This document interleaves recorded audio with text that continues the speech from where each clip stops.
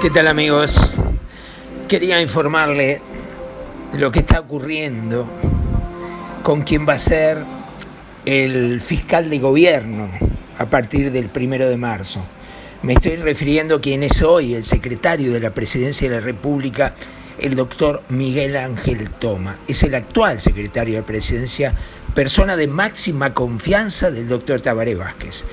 ¿Qué pasará con él? volverá a ejercer como fiscal de gobierno de segundo turno, ya que Toma va a volver a ese lugar que lo tenía reservado para ocupar la Secretaría de la Presidencia de la República.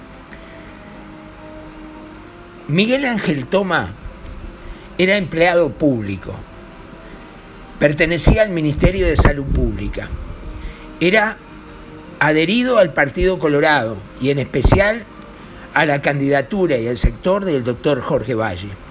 Sobre su escritorio, como director de jurídica del Ministerio de Salud Pública, Toma tenía una foto encuadrada de Jorge Valle.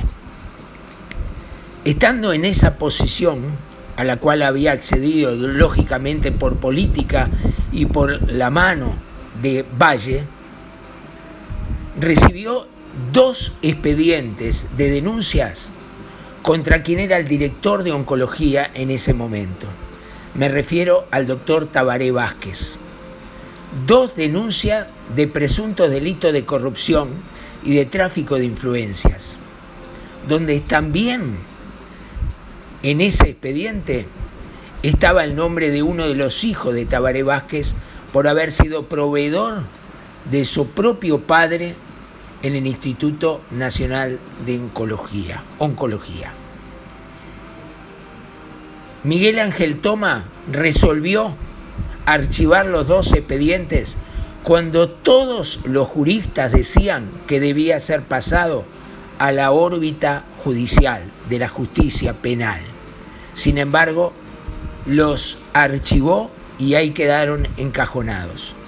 Pero como los favores se pagan, el doctor Tabaré Vázquez, cuando fue electo presidente en el año 94, hizo llamar por el abogado Fernández, quien fue el secretario de presidencia de Tabaré Vázquez, a Toma y lo nombró prosecretario de la presidencia. En el ascensor, cuando bajaba con su íntimo amigo, también abogado, la frase de Toma nos aseguran fue, los favores se pagan. Como que aquel favor de archivar los expedientes de Tabaré Vázquez ahora se pagaban nombrándolo a él, un desconocido, como prosecretario de la presidencia de la República. Así transcurrieron los cinco años primeros con la presidencia de Vázquez. Pero cuando éste dejó la presidencia, hizo nombrar a Toma como fiscal de gobierno y en ese lugar estuvo los cinco años acompañando a José Mujica. Las fiscalías tuvieron un rol clave en ese gobierno de Mujica a la hora de determinar muchísimas cosas, como la compra del avión presidencial, el Tribunal de Cuentas observó en reiteradas ocasiones el procedimiento, pero el Ejecutivo pidió la opinión de quién? De la Fiscalía, que entendió que no había reparos en la compra. El organismo terminó dando el visto bueno y utilizó el dictamen de esa Fiscalía de Toma como uno de los fundamentos principales luego de un cambio en su integración que resultó decisivo.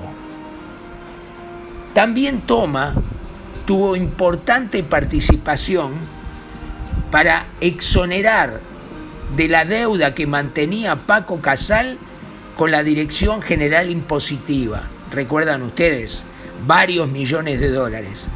Pues la opinión del fiscal del gobierno, Miguel Ángel Toma, fue fundamental entonces para que esto quedara en la nada y Paco Casal se aliviara de tener, haber tenido que pagar varios millones de dólares.